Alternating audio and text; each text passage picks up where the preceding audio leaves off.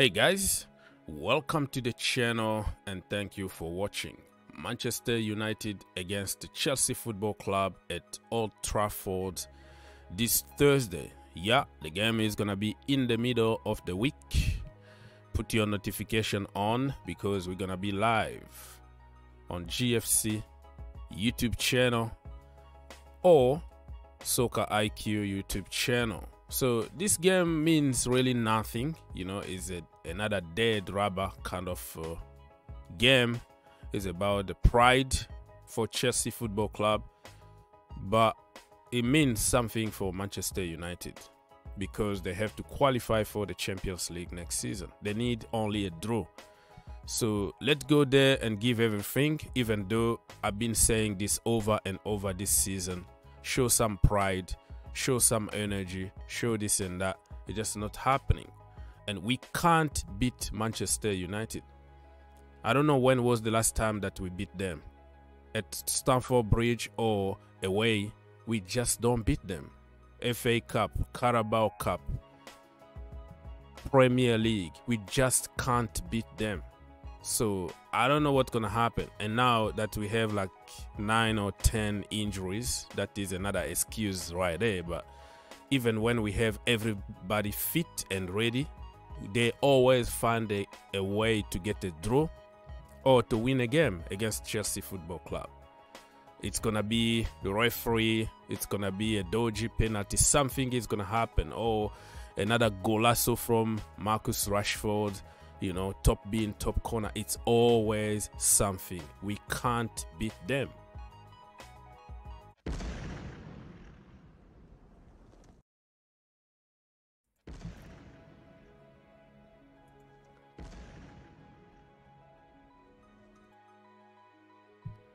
Anyways, my people, so this video is about head to head between Manchester United and Chelsea. It's not like a, a, proper preview. I'm not gonna give my lineup. I'm not gonna be give anything, but I just wanted to show you in this video how we've been. Uh,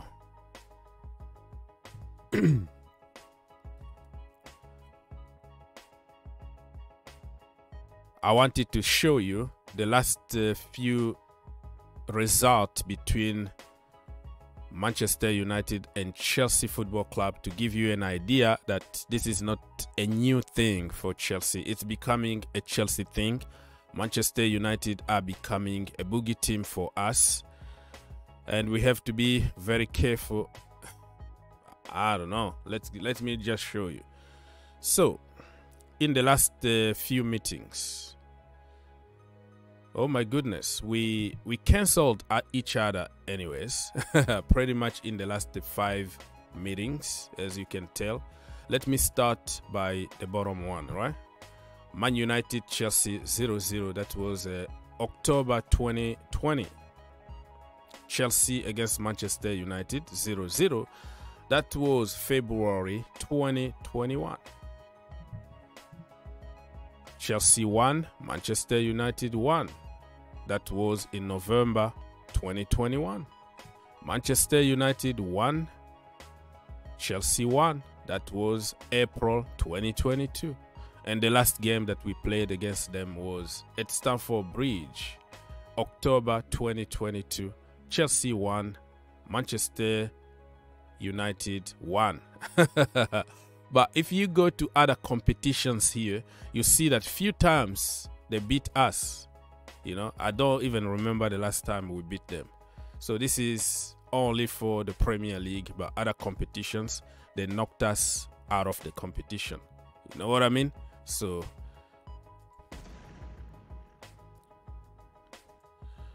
anyways people let's go to form guide okay that that uh, uh, that shows how we've been doing as as a team individually you know?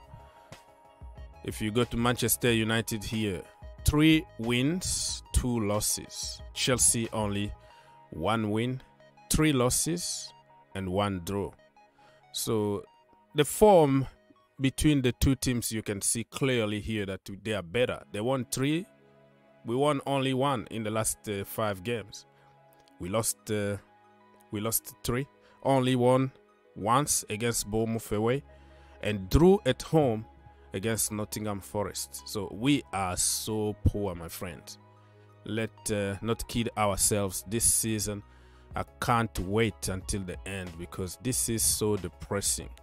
It doesn't look like uh, like Chelsea, to be honest with you. So let's go. The season so far, look at us. Manchester United are fourth, Chelsea 12. The first time in a long time that we finish in the in the bottom 10. Okay? Oh my goodness, I don't want to go to all the details here because I will be really, really depressed on this one. Chelsea. Anyways, my people, let me now go to the last game that we played them at Stamford Bridge so we can we can see more details from that game.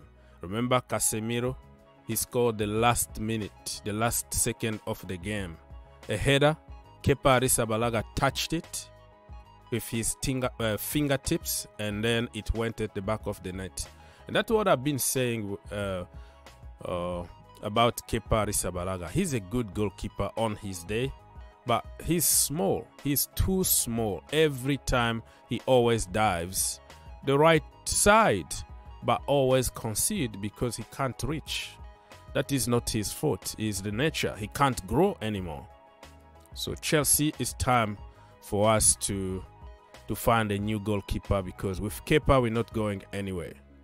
So that day, you can see Kepa was in goal, Trevor Chalobah, Thiago Silva, Cucurella, Jorginho Frello was still a Chelsea player back then, Ben Chilwell, uh, Ruben Loftus-Cheek, Cesar Azpilicueta, and in front we had Pierre-Emerick Aubameyang, Raheem Sterling, and Mason Mount. Mm.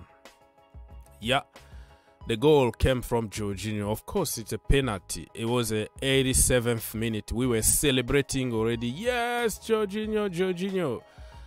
Yeah, we saw already three points in the pocket, but we forgot that uh, Casemiro was there to do the damage the last minute. Luke Shaw cross, bam, header from Casemiro, 1-1, and it was 90 minutes plus four. Wow, heartbreaking that day, man. And it was just like a win for Manchester United. Remember?